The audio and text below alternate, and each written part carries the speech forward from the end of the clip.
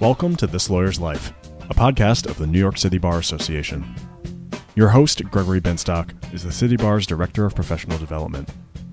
Today he sits down with Tracey Salmon Smith, a partner at Faegre Drinker.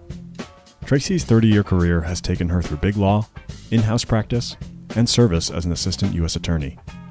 She took us on a deep dive of her experience mentoring lawyers and cultivating mentors of her own you sort of have like a board of directors of mentors and sponsors and and people have different roles on that board.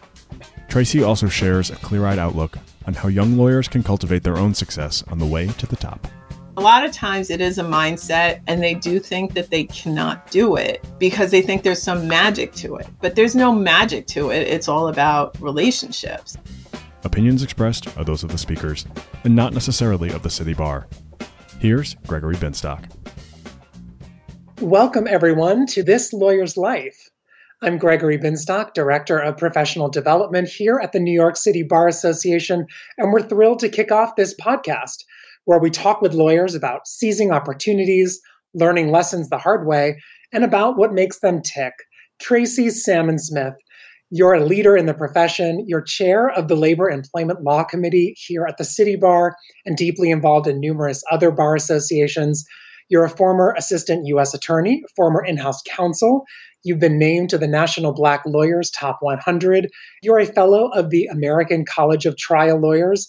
And now you're a partner at Faegre Drinker. Welcome, Tracey. We're so glad to have you join us here. Thank you so much for being with us. Thank you for having me. Excellent. Let's jump right in. Something we like to say around here is that behind every great lawyer, there are three more great lawyers. And a lot of seasoned legal professionals would say that relationships build the lawyer. So, what are the relationships that you've built your career on? So, early in my career, I had three great mentors while I was an associate at Rivkin Radler and Kremer on Long Island. So, I worked with Bill Savino, Joe Ortego, and Michael Marsh. And I feel that mentors are essential because they really help to shape and influence your career. And as someone you can look up to as a role model. So I had started as a summer associate at Rivkin, and as many summer associates and junior lawyers, I don't know anything about practicing law. So I went through my first year, my first summer associate. I then joined the firm as a first year associate and worked with Bill Savino in the insurance coverage and commercial litigation practice group. And Bill was the head of that group. And he was always so gracious with his time and his energy. He really made me feel like I could be a great lawyer. He took the time to to teach me and he always had some inspiring words. There would be times I would sit in his office and just watch. So I was sitting there waiting for his attention on a project that I was doing with him and while I was sitting there, I would see how he handled clients on the phone, associates or partners who came into his office, and importantly, how he handled his staff. And so, sidebar secret when one is starting out in a law firm, I think you should listen to the legal assistants because they know a lot of what has gone on and what will be going on and how to help you. Bill, while I would be sitting there, he would show me the ropes by his words and his actions. And for me, being a woman of color, that was phenomenal. I just learned so much from him. While I was at Rivkin, I also had the opportunity to work with Joe Ortego, and he's currently a partner at Nixon Peabody. And we've maintained a relationship all these years. So Joe took an interest in my career from early on. Because of Joe, I was able to get into the courtroom early. He had me working and appearing on cases on behalf of the RTC following the savings and loans crisis. And he was a former prosecutor, so he knew how important it was for me to get into the courtroom. So I appeared in court from the city court in Long Beach to the courts in the state in Brooklyn, Queens, Nassau, Suffolk, and I also appeared in the Eastern District. Wherever I was willing to go, he was willing to send me, and it was a great situation because it helped me to learn a lot. And then also being in court gave me the opportunity to observe how other attorneys behaved in court as well. So both Bill and Joe were partners, and my other mentor was Michael Marsh, and he was an associate. He was actually only a year ahead of me. He's currently a partner at the Akerman firm. But we always used to joke that we mentored each other when we were coming up through Rivkin. The firm was an open atmosphere where we could learn from each other. And as associates, we worked hard, we worked late, no question was too crazy. And I think the important lesson that I learned at that time is that your peers can be your mentors as well. And Are those kind of mentorships sort of more formal in sense of is the firm trying to match you with someone? Is it someone is a partner and you're an associate on their team, or is it more informal? I would say it's more informal. And I think that those are the kinds of mentorships that sort of develop organically that are best. There's definitely a place for sort of matching people to be mentor and mentee. But I think you have to really think about the people involved and not just match to match sake. You've mentioned that you're a woman of color. I'm gathering from the misters that you've mentioned that these are not women of color. Are there distinct benefits to matching new attorneys with mentors with common experiences and perspectives? Does it seem like firms prioritize that, or is the expectation that some of the more powerful white men should be mentoring folks of all different experiences and perspectives? So, I do think that anyone can be your mentor and they don't have to look like you, have the same kinds of experiences that you do. But it is important that you do have people like that in your corner. So, one of the things that I like to tell people is that you sort of have like a board of directors of mentors and sponsors, and people have different roles on that board. And so there may be situations where you have powerful people who are helping to mentor you or who are sponsoring you who may not look like you. And then in other situations, you have people that more closely resemble you and your background. And those people have a place as well in, in sort of your board of directors of your career. I love this board of director idea how do you boot someone off the board or how do you get someone onto your board that you're interested in? So I don't know that I've ever booted anyone off of my board. I sort of have been collecting people over the years and have pretty solid relationships with most of them. But sometimes there are people that come into your life for a season. And so I think that even on your board of directors of your career that there may be somebody who comes in for a particular reason. And so, therefore, it's always changing. Your board doesn't necessarily need to be static. You can have people who you need career advice when you're in this position. So you're a junior associate, right? But say you go in house, then you need a different type of mentor. But that doesn't mean that you have to get rid of your old one, but you may need to add some new ones. And so that's why it's sort of an evergreen, always changing. And then this way it doesn't get stale. I presume that you've found yourself on other people's boards now, given the leadership part that you're playing in your firm. How do you take part in nurturing diverse talent that comes into Faegre Drinker?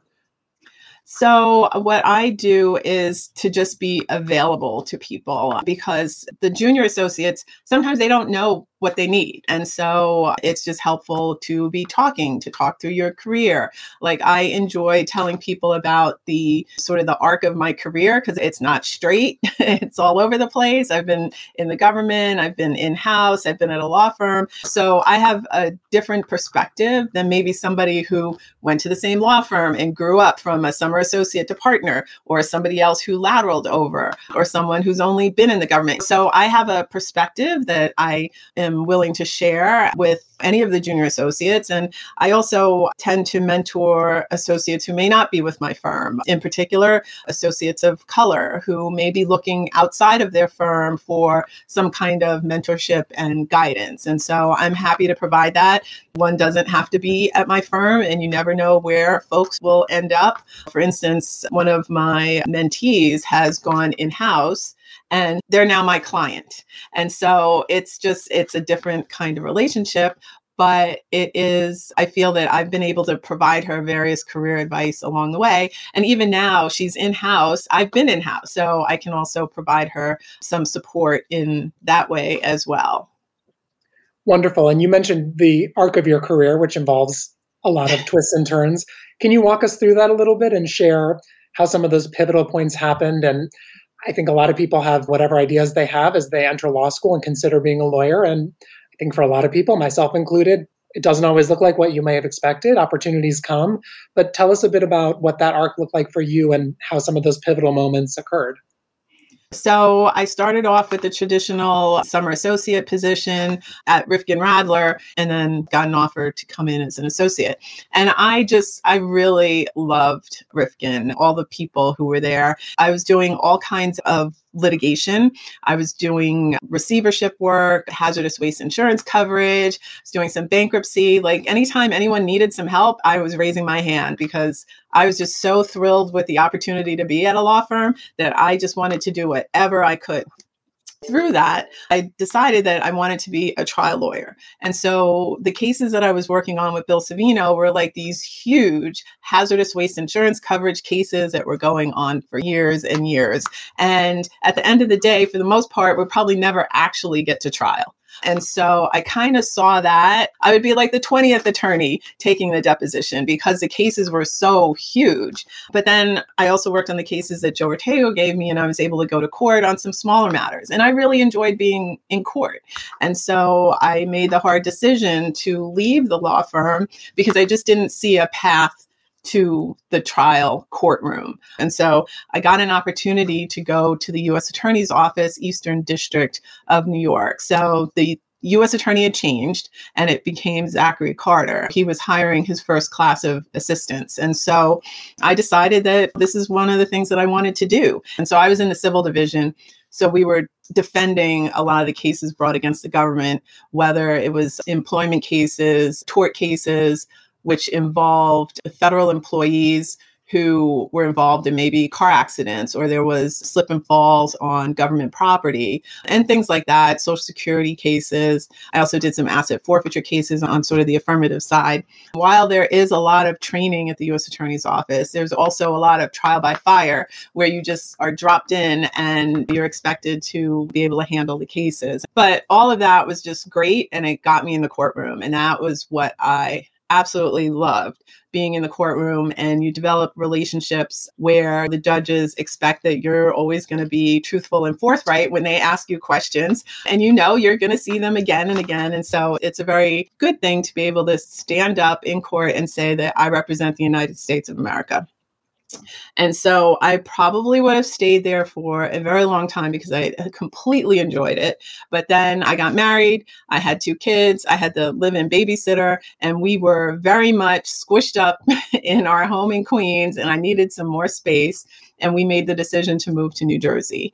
And with that decision, I ended up having to leave the office because there was no way that I could do that commute from where I was in Jersey to Brooklyn. And so I went to a law firm in New Jersey. And and at that point, I was in counsel. So I was no longer like a junior associate as I left Rivkin, I was now a counsel. And so that was a very different experience being at a firm and having had the kinds of trial experience that I had. So I was not totally happy there. And then an in house position opened up at, at UBS. And so a colleague of mine from the US Attorney's Office ended up at UBS and they had an opening and they were looking for an in house litigator, which is an unusual kind of position. But it was perfect. And so I ended up interviewing and getting that job. And so I was handling all kinds of litigation in house for, for the company. And it was good because I could actually handle some of the litigation. And if it got to be too much, we had outside counsel. So I was managing outside counsel as well. And so all of that was great. Another great career move. I'm very happy. I'm in house. And then the financial crisis of 08 happens. And then UBS, one of the banks, and so they decided to change up their litigation model. And so they came up with this unique model where they decided to send the work to outside counsel and they decided to send the excess litigators to that same outside counsel. And so the company benefited because they had all of my experience and the others who went with me had all of our experience. They didn't lose it because it got transferred to the firm and the firm had been one of our outside counsel anyway. And so it was sort of a win-win for everyone. But then I found myself back at a firm, which was not what I had thought I would be doing. So so all was good and I liked the firm a lot. And then I ended up making partner. So I ended up staying there for a little bit. And then I ended up getting recruited to Faegre Drinker, which at the time was Drinker Biddle. I got recruited to come in and work in a financial services litigation department. And so I took that position, and that's where I am today. Shifting gears a little bit, you mentioned earlier the subject of availability for mentorship. And it struck me when you used that word that's really changed in the past few years because of the pandemic, because of the workplace that's the workplace environment that's changed and how lawyers communicate. What does that kind of availability look like these days? How do people get your attention? How do you seek out mentoring other people or just communicating with your team? Do you find it harder, easier? What is your situation at your firm? Yeah, I think it's a little mixed, right? So during the pandemic, one of the things that we did for my group is that we would have weekly check ins. So Wednesday at five, we would all jump on a WebEx.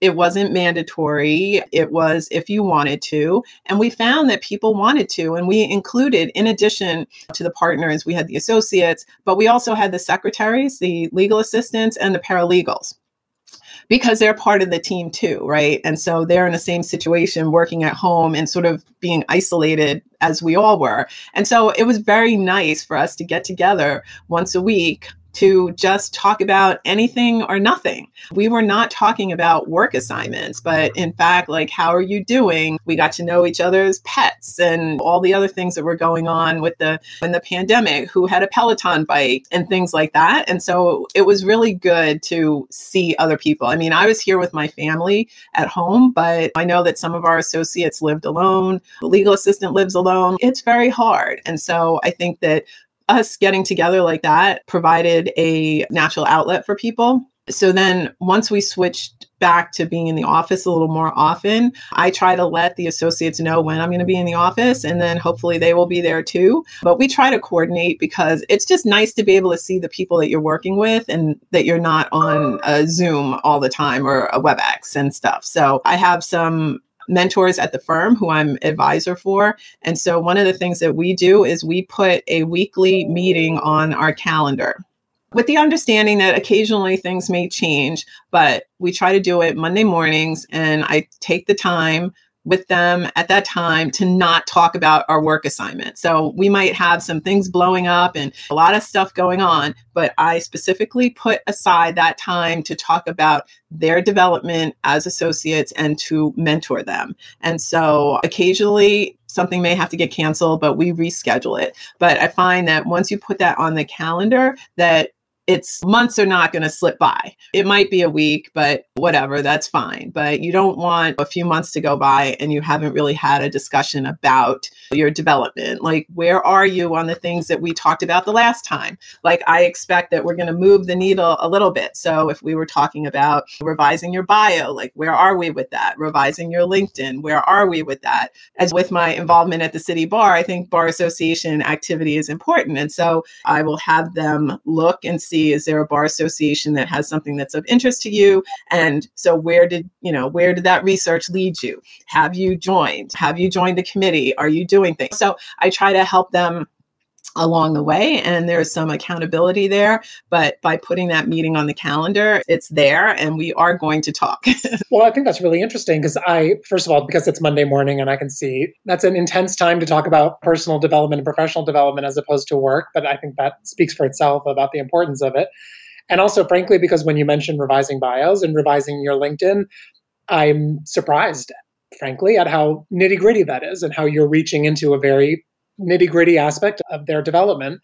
Are there other concrete examples? I mean, I, I think most people might assume, oh, well, we're talking about business development. And you're going to these folks and saying, where are the new clients? How is the rainmaking going? And of course, other professional development things as well. But when you mentioned something so specific, that really mm-hmm. caught my attention. Those are things that really on your radar screen. Do you work with your professional development staff at the firm because that is almost sounding like mm-hmm. concentric rings there or is this just because you're thinking listen you really got to have these things set. No one else is going to remind you about this. And also asking you a bunch of questions at once how do they react? Are they like geez tracey like i'm trying to work here that like revising my bio can someone else do work on that for me? Or do they say i really hadn't thought of that and i really appreciate it. So, yes, we get into the nitty gritty like that, but some of the other items, concrete things that I have them do is to figure out what types of events they want to go to. Like where are the people that you feel that you want to meet and I'm sure we're going to get into this with the business development that it's all about relationships. And so if you start early, it will just be a little more natural for you and it'll be a little easier for you. And so again, with the Bar Association, I tell them that you need to join a group, you need to figure out what you want to do. And so that's why I have them explore different opportunities. But I think going to events is very important. That has been one of the things that I have done over the years. And with the pandemic, it's obviously it had been a little harder, but I still encourage them to go to the Zoom events. You'll have fun, you'll meet some other people. My firm, my group, we would during the pandemic, we did things like a little wine and cheese and so some opportunities to have some interactions that were outside of work, even though we were on WebEx or Zoom it's all about those relationships. So that goes back to your LinkedIn and to your your bio because that is the world's introduction to you if people look you up. So if they Google you, these are the things that are going to come up and these are the things that need to speak to who you are and what you're doing with your career. And so I don't think that it's enough to just say like you're an associate in the business litigation group and that's what you do. I mean, that doesn't really say much. And so you need to jazz it up a little more. There are times when I'm like, did you put that on your bio? Like, we just had a victory in a matter. Like, that should go on your bio. And some of the times they said, oh, I didn't even think about that. And it's like, that's important. You got to put that out there. But it needs to be up to date because it also is the thing that the partners here use when we're responding to pitches. We submit the bios of our prospective teams. And so you want those bios to speak to who the folks really are. I feel we're sort of coming, I don't want to jinx it, coming somewhat out of the pandemic. And so now is the time to continue developing and building relationships.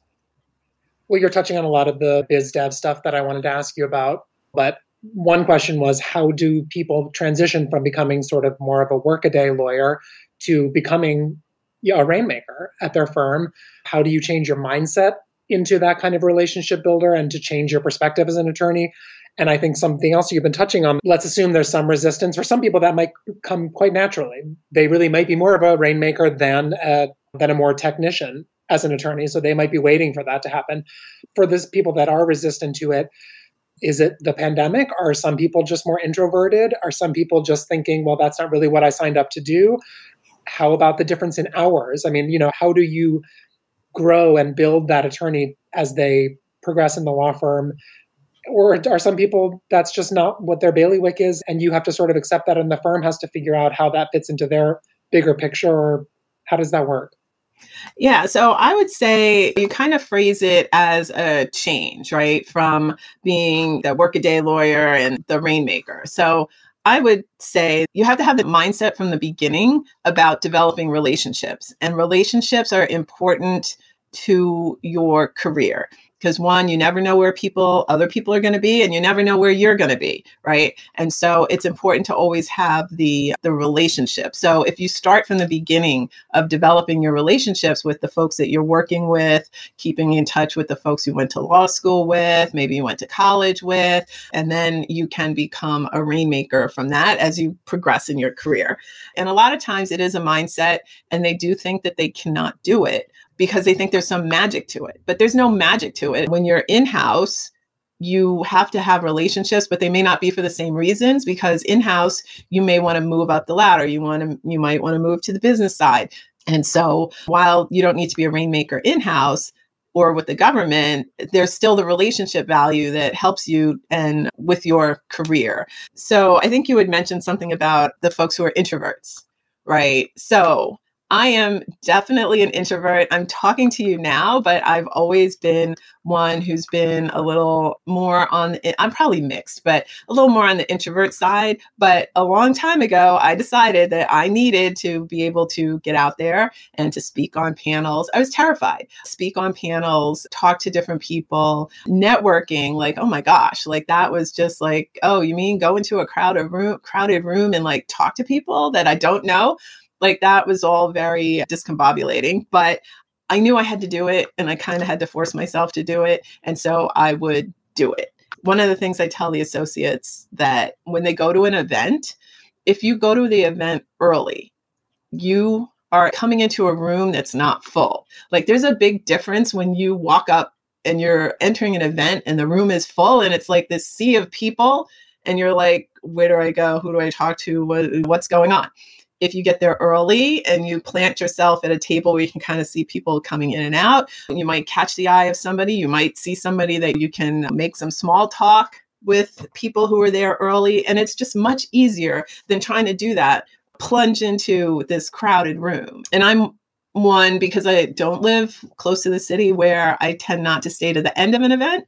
But I'm like, it doesn't matter because I've met all the people and talked to everybody I wanted to because I went early, right? So if you have to leave because you have a train to catch, you need to get home, that's fine. You've done what you needed to do at that event by getting there early and talking to people and making chit chat and things like that. And then you also have to follow up that's the other important thing about the relationships and the business development is following up.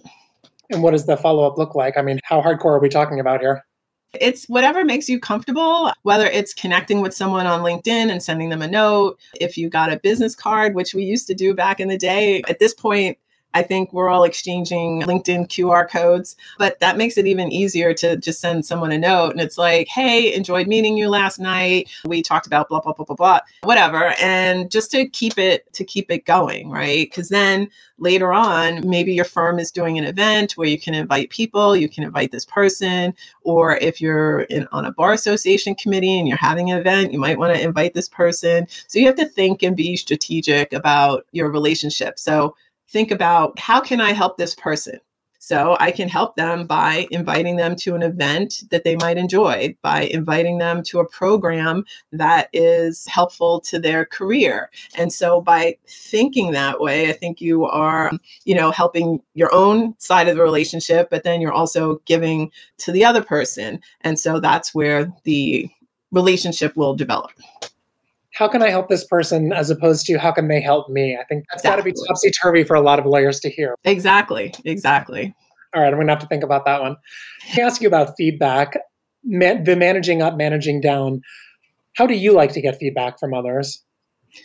Getting feedback from people that I would say I'd like to hear it directly. I'd like to hear it closer to the event in time. One of the things I say to the associates that I mentor, you should not be surprised at anything you hear in your review, right? So if we do reviews once a year or twice a year, there, you should not be surprised because the person that you are working for, you should get that feedback as close to the event as possible. Now, I know we're all busy and sometimes it's hard to do that right away, but I think that the associates who are a little more persistent with that, it will serve them well. So if you're doing a brief and even the partner doesn't get a chance to talk to you about whatever major rewrite they may have done, then take take the brief that you wrote, your draft, and compare it to the final draft, and then ask questions as to why, you know, if you can't figure it out just by reading through, ask the partner, ask the senior associate, well, why did you decide to use this approach? Or why did you do this? Or why did you leave that out? Because it's all a learning experience. And so I think it's important to hear it closer in time. That's what I would like to hear from the folks that I worked with and for the assignments that I would hand in. Has work life balance and expectations around that changed in your career arc and changed across the pandemic? I would say so. So, in the beginning of my career, it, there was no work life balance. It just was not really that much of a thing. We would, if you had a family, you would get whatever your maternity leave is and come back to the firm, hope that all was well. I was fortunate. I had my kids when I was in the government. And so I was able to take my time and we would joke around because I came back and my desk was exactly the way that I left it because people don't have time to be picking up extra cases. But I will say that the judges were very understanding. And so you're pregnant. Okay, so we're going to kick these deadlines out so that you don't have to have one of your colleagues who doesn't know what's going on in your case handle something. It will wait until you get back. And so I think that that was a good thing. At the law firms, I think it was a little harder, but people did what they had to do. I think now with the pandemic, we've all learned that it's not necessary to work all day, every day, which is good. And to be home, that's good. So, without naming names, What makes a client or one of your clients sort of the worst client? And what makes one of your clients the best client? So I would say the worst clients are the folks who just have unreasonable demands. And so, therefore, the best of the clients are people that have reasonable demands and understand that their case is not the only one that you're working on. And similarly, without naming names, what made your worst boss the worst and your best boss the best? Okay, so my worst boss was someone who was just very condescending and someone who did not value my opinion as a, a joint owner of the case of the issue. Was somebody who wanted to just dictate and tell me what to do instead of it being sort of a collaboration between the two of us. So, therefore, the best partners that I have worked with are people who tend to be collaborative and who want to hear your opinion and who want your input, right? Because it is, I think, the client overall is served better when lawyers are collaborative. What is one thing you would say to a brand new lawyer or one small piece of advice? Okay, so to a brand new lawyer, I would say just be willing to do anything and everything. I think it's important because you will learn what you like and what you don't like. And so if you only do what you think you like, that's not going to be very helpful because many of us thought the law was one way. And then when we got in, we realized that it was not. But this way, it keeps open your possibilities. Tracey Salmon Smith, it's been a real pleasure. Thank you for being our guest on This Lawyer's Life. Well, thank you very much.